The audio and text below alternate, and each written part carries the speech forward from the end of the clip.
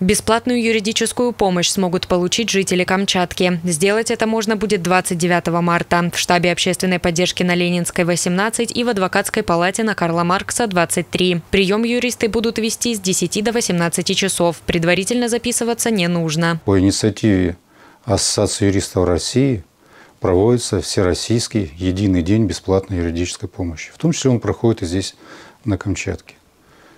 Мы этим делом занимаемся, я имею в виду наша организация, уже 14 лет, с 2010 года.